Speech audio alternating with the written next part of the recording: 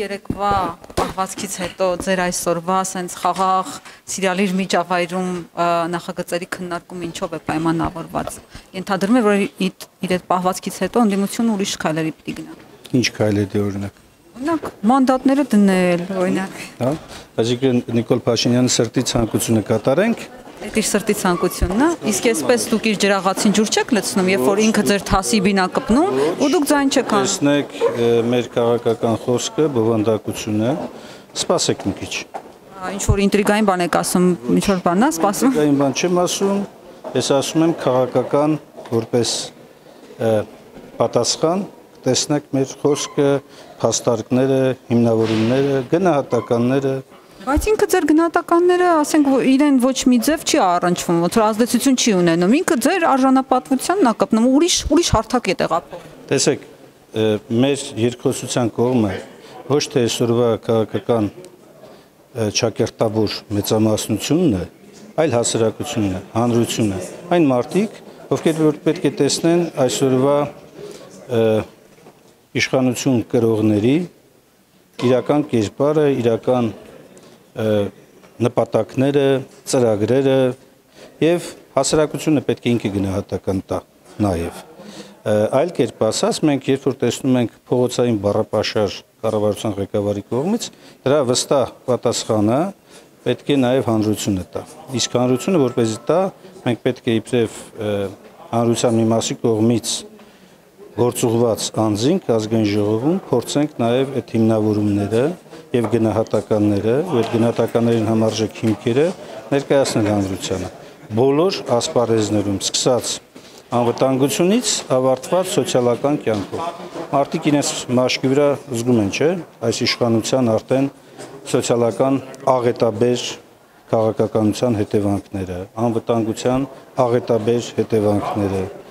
Հետևաբար մեր վարկագիծը նաև պայմանավորված դրանով պետք է ել ավելի փաստարկված ներկայացնենք։ Բայց երբ որ դուք լռում եք, հանրությունը կմտածի, որ դուք ուրեմն համաձայն եք այդ վիդավորանքներին։ Այսինքն Այսինքն դուք այսօր եկել եք սովորական նիստի, իբր երեք ոչ մի բան ձեզ չի ասել, ոչինչ չի եղել։ Ասեց։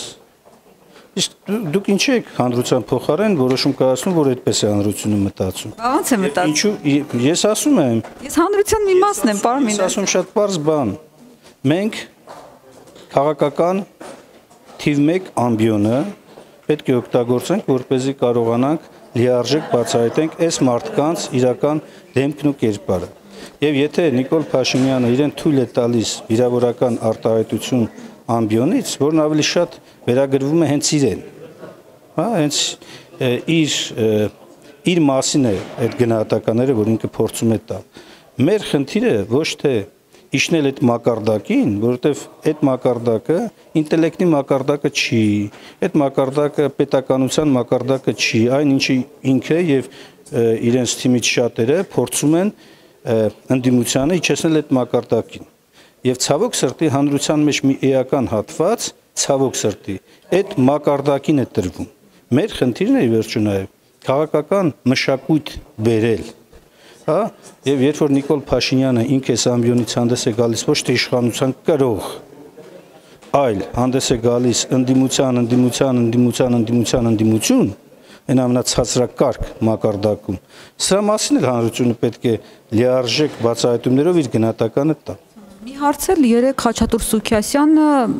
դժգոհեց, որ ընդդիմությունը պետական ինստիտուտները չի հարգում եւ ընդդիմության հակուկապից դժգոհեց, ասաց, որ նախագահ են ընտրում, բայց ինչպիսի հակուկապով են գալիս, ոնց որ չեք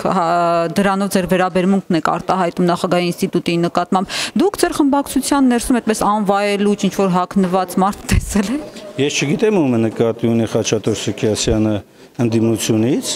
հավանաբար փորձում է մեծամասնության առանձին ներկայացուցիչների հակուկ կապը արդարացնել, որովհետև անբացատրելի հայտարարություն էր անում։ Իսկ ինչ վերաբերում է պետական ինստիտուտի հարգելուն, ես կարծում եմ, առաջնահերթին ինքը պետք է հարգի այդ ինստիտուտը եւ մեծամասնությունը։ Եվ երբ որ օրինակ է ազգային ժողովի падգամավոր կարգավիճակ ունեցող անձը այս ամբիոնից ավիրում է մեր ամբողջ պետականության անցած ճանապարհը, անվանարկում է այդ պետականության նվիրված շատ մարդկանց գործող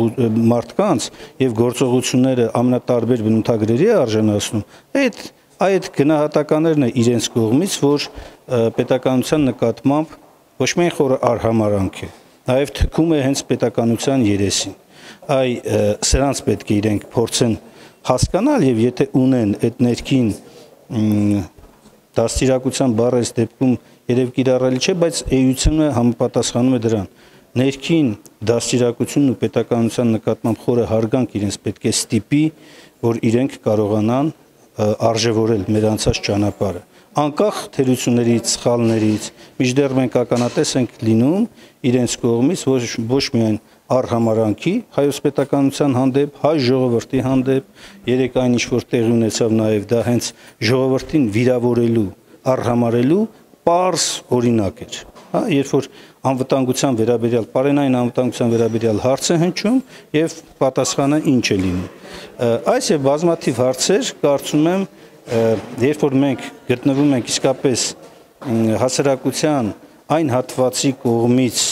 տրվող իրական գնահատականի վրա, որը ընդդիմությունից պահանջում է այստեղ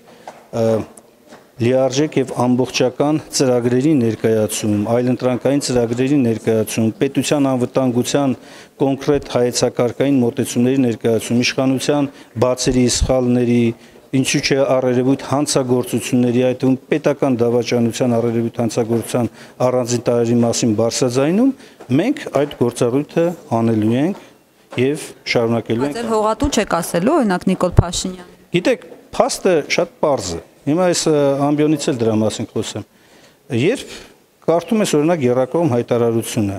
նոյեմբերի 9-ին, ինչ է այնտեղ գրված։ Գրված է, որ Հայաստանի Հանրապետությունը վերադարձնում է Ադրբեջանի Հանրապետությանը ու թվարկում է կոնկրետ տարածքներ։ Երկրորդ Նիկոլ Փաշինյանը այս ամբիոնից բազմից հայտարարել է, որ ինքն է հրաման տվել հայկական զորքերը հետ քաշելու եւ այդ տարածքներում ադրբեջանական վերահսկողություն հաստատելու ուղությամբ։ Հիմա հարց. եթե դա հողի հանձնում չէ, ապա ինչ է։ 75%-ի հետ համաձայն չէ։ Դա 25% են ասում եւ անվտանգության։ Տեսեք, 75%-ը հենց հա, ինչպես որ այդ պայմանագրվում է գրված եւ որը ստորագրել հենց ինքը Նիկոլ Փաշինյանը, պայմանագիր չասեմ, հայտարարության հայտարարություն ասեմ,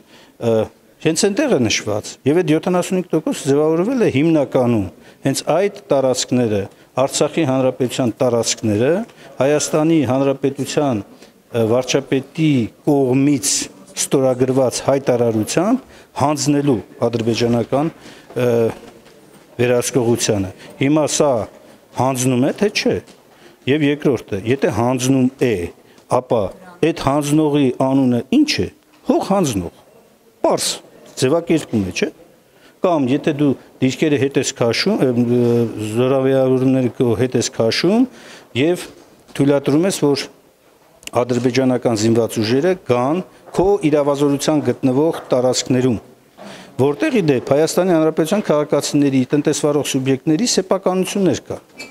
Հիմա այդ հողերը, որ դու համաձայնվում ես եւ փոխանցում ես թշնամի պետության վերահսկողության տակ, այդ գործընթացի անունը ի՞նչ է։ Ճիշտ եմ հասկանում, որ դուք շարունակելու եք նրան հողատու ասել, նա էլ ձեր վրա մատ թափ տա։ Տեսեք, այսինքն հողատու արտահայտությունը իրենք իրենց փաստաթղթերով եւ հայտարարություններով են հաստատել։ Հիմա ինչը ինքը կփորձի նորից այսպես հա ոչ կառավարության ներկայացուցիչի բառապաշարով արտահայտել, ես կարծում եմ դա ոչ միայն քրեաիրավական կամ բարոյախրատական